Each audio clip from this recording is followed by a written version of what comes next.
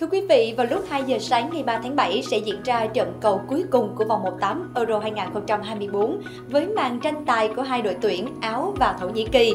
Liệu đội nào sẽ giành lấy chiếc vé cuối cùng để vào vòng tứ kết Euro năm nay? Ngay bây giờ, hãy cùng công nghệ AI phân tích và dự đoán tỷ số của trận cầu này nhé. Xin chào trợ lý ảo, rất vui khi được gặp lại bạn. Trước khi trận cầu cuối cùng vòng 1-8 giữa Áo và Thổ Nhĩ Kỳ diễn ra, bạn hãy so sánh sức mạnh giữa hai đội tuyển này cho chúng tôi được biết nhé. Xin chào MC Khánh Vi, theo nhận định của tôi thì đây là cuộc đối đầu cân sức. Tuy nhiên cán cân có phần nghiêng về đội tuyển áo của huấn luyện viên Ralf Rangnick với thành tích chuỗi 5 trận bất bại trên mọi đấu trường.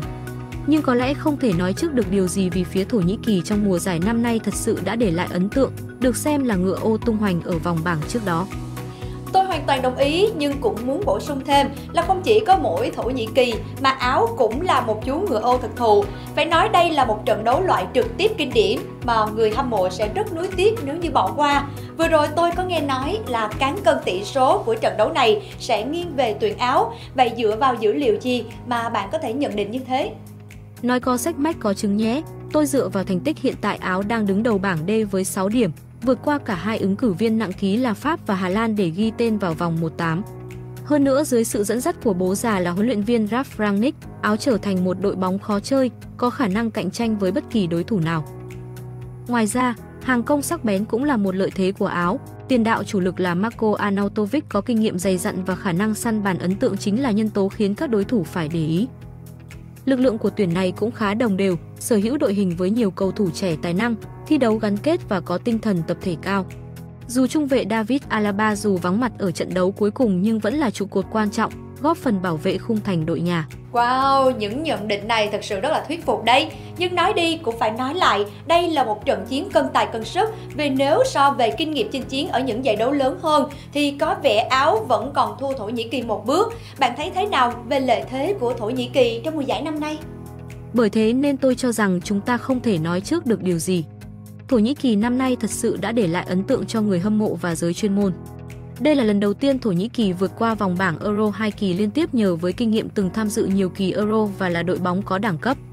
Tuyển này cho thấy thế mạnh ở hàng tiền đạo xuất sắc, kỹ thuật nhuần nhuyễn, có khả năng sáng tạo và kiến tạo tốt như là Ada Guler, Yusuf Iase.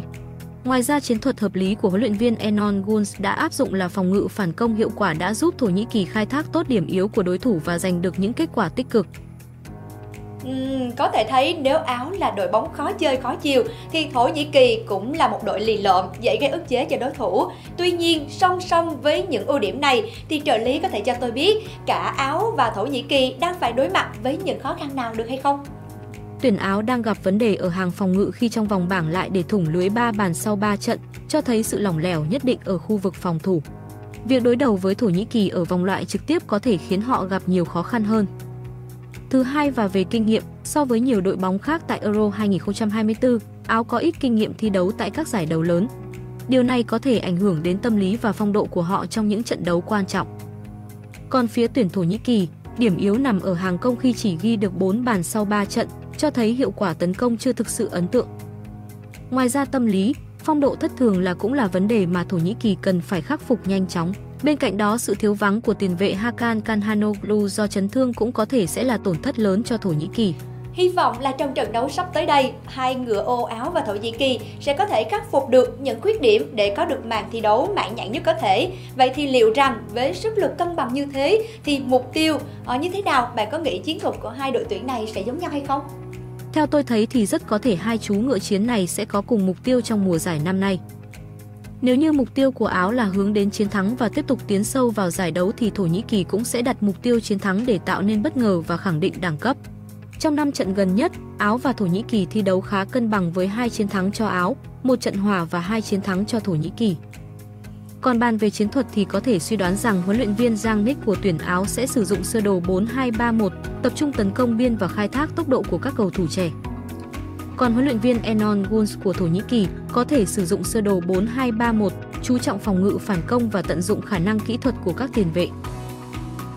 Với những phân tích đó thì à, bạn có thể cho chúng tôi biết dự đoán tỷ số chiến thắng vào trận cuối cùng vòng 1-8 năm nay sẽ thuộc về đội tuyển nào được hay không? tôi mạnh dạn dự đoán tỷ số của trận cầu này sẽ là 2-1 nghiêng về đội tuyển Áo. Ngoài ra rất có thể sẽ có 8 quả phạt góc và 4 thẻ vàng xuất hiện trong trận đấu hấp dẫn này rất là cảm ơn những nhận định của bạn. Với những phân tích trên thì cuộc chạm trán giữa Áo và Thổ Nhĩ Kỳ hứa hẹn sẽ là màn so tài hấp dẫn và kịch tính cuối cùng khép lại vòng 18 Euro 2024. Theo quý vị, đội nào sẽ đi tiếp? Hãy bình luận phía bên dưới và đồng hành cùng Tuổi Trẻ Online để theo dõi cập nhật những thông số và các tính toán chi tiết, nhận định hấp dẫn từ góc nhìn AI trong những trận đấu tới. Xin chào và hẹn gặp lại!